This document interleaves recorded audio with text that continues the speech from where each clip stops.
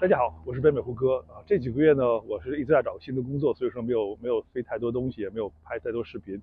然后，但是我大概还有两三个礼拜就要开始公司跟新公司找新公司，还有两三个礼拜就开始干活了。然后这两个礼拜我一直在学啊仪表飞行。然后呢，在同时的话呢，我还学 我还学这个 complex airplane，就是就是有那个就是有起落架和那个可以控制转和飞机转速的。然后呢，我现在在 Aerodynamic 学学了大概两个礼一个多礼拜了吧。然后这架飞机就是就是 Cessna 172 R RG Retractable Gear。好的，大家可以看看这个视频呢，咱们就讲讲这个飞机吧。好，就从外边看起来的话呢，可能区别不是很大。首先，当然了，第一个就是可以看得见下边这个，呃，就是这个轮子的话呢，可以有有有这个有这个门儿。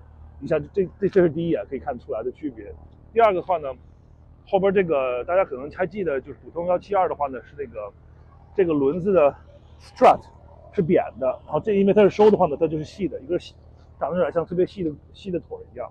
然后呢，它会从从那块转过来收到，然后收到这里边，不不知道看得见看清楚看不清楚。然后下边是这个很细的这个这个这个长腿的细收到这里边。然后这架飞机是一九八一年的，因为已经不生产了。所以说呢，里边的话呢还是挺老的。好，咱们咱们现在进去里边看一眼啊。这就是里面的话，跟普通的幺七二差不多，因为这个飞机是老一点，对吧？刚才咱们说了一下，一九八一的，所以这这些仪表也没有改，这 有多少油，发动机的呃，就是发动机油的压力和温度，这些表都一样。这个表就是 complex airplane airplane 里面必须得有的。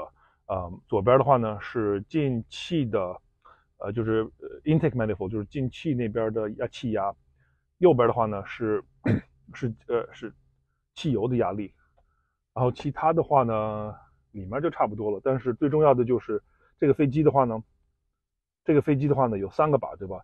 这是啊，就跟普通飞机里面黑的还是是 throttle，就是给多少油，呃，就是给多少那多少多少多少空气。这边是 mixture。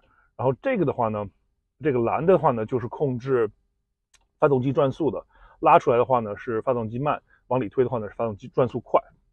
下边的话也差不多吧，其他的哦对了，有个这个呃就是 engine cowling，就是呃发动机排气的一个一个东西，我给大家看一下，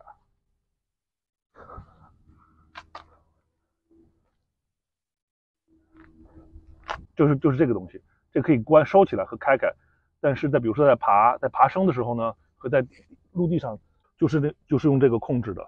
然后呢，比如说在路上和在陆地上和爬升的时候呢，这个必须要打开，因为当时里边空气就是进发动机里边空气不够，然后发动机会超热。